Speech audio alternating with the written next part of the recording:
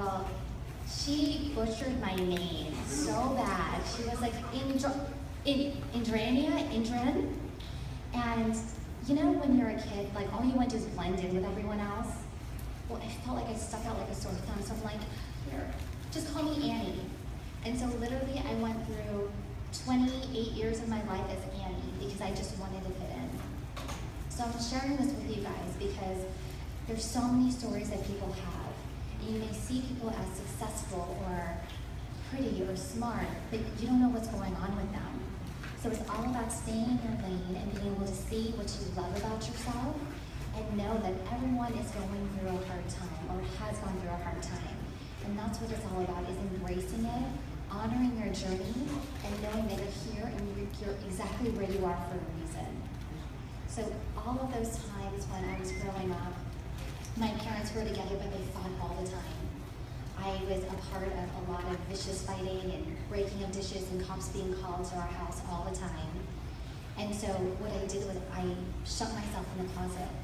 And in my closet, I started dreaming about a better life, about when I was a parent, the decisions I would make, and how my kids would get grossed out because my husband and I would be so affectionate with each other. Because I didn't have that at all. I just wanted my parents to have that kind of affection. And that's where my positivity came from. That's where I had to find that silver lining because nothing else was going on. Nothing else was going right in my life. And that's what got me to where I am today. So, a little bit about positivity. What that means to me is it's about the silver lining. And not like, oh my gosh, everything's going great and we love life. It's so easy to be positive when things are going right, right guys? Yeah. So good, things are great. You know, I got some money in my pocket, I'm looking good, I'm feeling good, you know, whatever that is to you. But when things don't go your way, and when things are rough, and you don't get that job, or you get into a fight with someone, or something happens, that's when you need that silver lining, that thread to say it's going to be okay. And that's what it's all about. So I want to share with you guys the, the power of positivity. And then we're going to go into three tips that you guys can do now to create a happier life and a more successful life. Are you guys ready? Yeah. Yeah. Yeah. Yeah. Okay, okay, that's a little better. We'll, we'll get a little bit more engaged as, as we go on, so that works for now. So guys, um, you know, studies have shown that positivity is real. And the people that are more positive are happier, they're more successful, and they see the world in a different way. And now, there's people that, you know, there's DNA and there's genes and hereditary components of depression. And there's some people that I'm sure that you know them in your life that are naturally high on life and happy all the time. Do you guys have that in your life? People that are just happy all the time. It's kind of annoying sometimes. I got that too. You, people will probably say that about me sometimes too, so it's, it's okay though. And then there's some people that are kind of like, I call them like Eeyore, like Winnie the Pooh, that are kind of like, oh, gosh, I can't wait until the weekend. Oh gosh, life is tough. And, you know, always kind of complaining. Do you guys have those people in your life? Well, a lot of that is our genes, and a lot of that's because of, of what we've grown up with and what we've seen with our experiences with our family and our friends and our environment.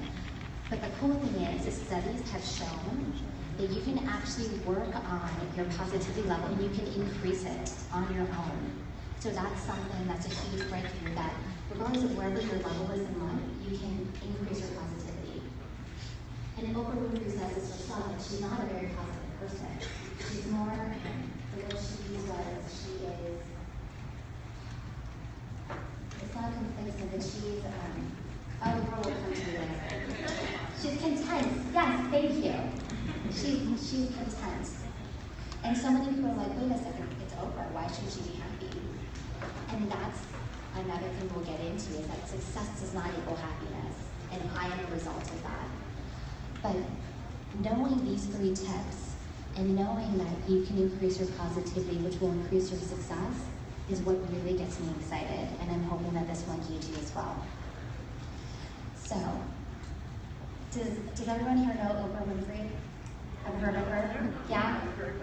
Does anyone have than not heard of her in the room? Okay, awesome. Well, I'm sure you guys know a little bit of her story. And I'm going to share with you some examples of the people that work that are so famous right now. They had challenges right now. They didn't have the experience, they didn't have the balance a father. They worked for it, they had a perspective, they never gave up. And now they have so much success in their life because of who they are, because they're positive silver lining of things. With Oprah Winfrey, she had so much child abuse. She was raised by her grandma, and the, the one thing her grandma wanted her to do was to be able to um, be a maid, just like she was, so she could have an income and be able to support herself.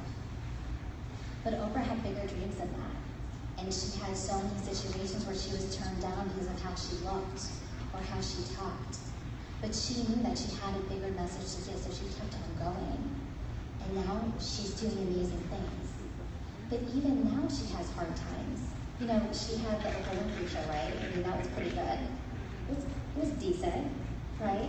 And then when she left that, she started her own network, the OWN network. And everyone said it was a flop. And she talked about it. And she talked about how she felt like a failure and how she thought it was going to be easy because she already had the success. But then she realized that through life, it's a journey. You're going to have ups and you're going to have downs. And that's just how life is. So through that, she learned so much about herself. And she went back to the drawing board and she started working it. And she found things that resonated with her, for people. And now she's she's getting traction on it. Another person I want to talk about is Taylor Swift. You know, she is a huge icon now. She has amazing music. She's doing this, these awesome causes. But in high school, she was bullied. She had so many issues because she had a dream of being a country singer. And growing up in Pennsylvania, people were like, you can't do that. I don't see that. But she had this dream and she kept on going. And because of that, she is who she is. The last story I want to tell you guys about it because it's so important is Jim Carrey. Does everyone know who he is? The kind of crazy. He's the annoying person that would be like too much to be around. The positivity, that's how he always is. Um, but he has this amazing commencement speech that I recommend everyone to watch on YouTube. And he's talking about his experience when he was homeless and he was broke. And what he would do is he would drive to, to look at the Hollywood sign and he would park his car and he would sit there for hours until he could visualize his future. And I know that there's a great workshop on visualization, so this is going to really hit home with that. He would sit there for hours as it took for him to get into the emotions of being a famous actor, with, which before he didn't even have any gigs. So this was when he was homeless and broke, living out of his car. And he would visualize a check for $4 million. And he would not leave the Hollywood Hills from that spot to see the Hollywood sign until he was in tears and until he fully got his emotions wrapped around this dream of his. I think it was a year later was when his debut on The Mask came. And guess how much his check was? A million dollars. Four million dollars. And it's one of those things that, you know, a lot of people can say, oh, it's woo-woo now. You hear it all the time, law of attraction and manifesting and positivity. Yeah, right. It, it works for everyone else. Is anyone thinking that right now? Is anyone kind of a little bit hesitant on it? You guys can be honest. Yeah. Yeah? And I totally get it. It's like the flavor of the month. What's going to come out next month, right? Well, I'm here to say that if you do these three practices, it is going to work. So before we get into them, I want to talk a little bit about why it works. So the whole method